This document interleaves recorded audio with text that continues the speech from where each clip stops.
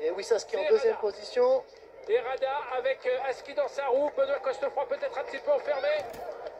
Eh c'est parti, Mozzato. Mozzato qui lance. Mozzato pour l'équipe Arquiac. Euh, remporté cette victoire. Mozzato avec oh. Costefroy qui tente de remonter. Costefroy qui s'est décalé, il n'y arrive pas. Eh bien, c'est la victoire de Luca Mozzato aujourd'hui qui s'impose, il me semble, devant Lewis Aski Voilà. et Benoît Costefroy.